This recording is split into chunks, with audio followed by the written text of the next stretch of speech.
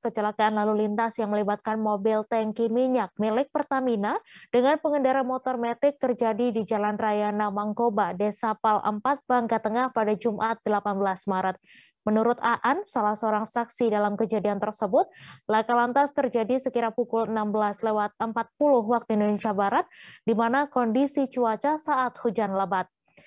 Untuk info selengkapnya akan disampaikan rekan jurnalis Bangga Pos Arya Bima Mahendra yang kini sudah terhubung bersama kami. Silakan Arya.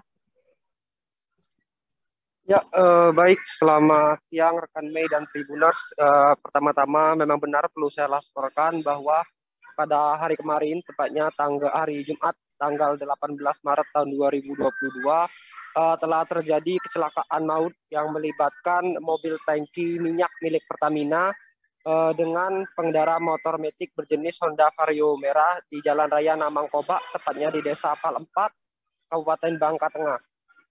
Ya, menurut uh, salah seorang saksi, ya ini Aan, kejadian, kejadian tersebut bermula sekitar pukul uh, 16 lewat 40 WIB, di mana saat itu kondisi cuaca memang sedang hujan ya.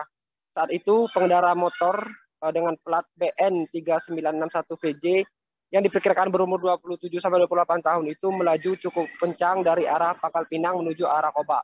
Sementara dari arah berlawanan, mobil tangki minyak milik Pertamina juga melaju uh, dengan kecepatan yang cukup tinggi dan sedang berusaha menyalip uh, satu buah mobil minibus yang ada di depannya.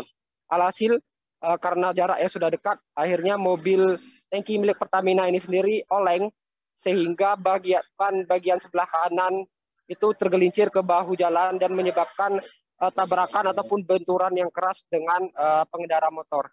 Nah, uh, perlu saya sampaikan juga bahwa untuk identitas dari pengendara motor ini sendiri adalah uh, Ismail yang berusia 28 tahun dan pengendara uh, ataupun sopir mobil tangki minyak Pertamina itu sendiri atas nama uh, Darwin yang berumur 44 tahun.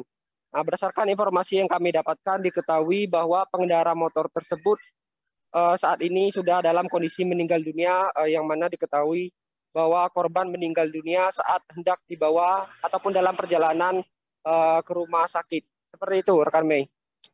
Ya, terima kasih Arya Bima atas laporan Anda. Selamat bertugas kembali. Terima kasih sudah nonton. Jangan lupa like, subscribe, dan share ya.